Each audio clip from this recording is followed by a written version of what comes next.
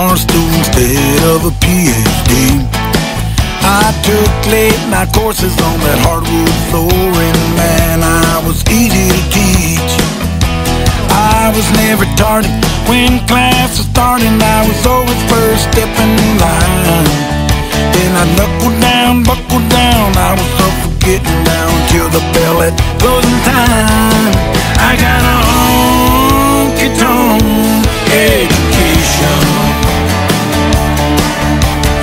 Tuition was a cover charge, man. I had to study hard. It took a lot of dedication. But I'm a dartboard certified, eight ball qualified, and you won't find me wasting. Anything I learned, wear that neon bird, gave my home, home, home, home education. Yeah. Best night ever done. Jukebox 101, at 15 with my final grade. I got candles going with my smooth dose of going. Always gave me straight A's.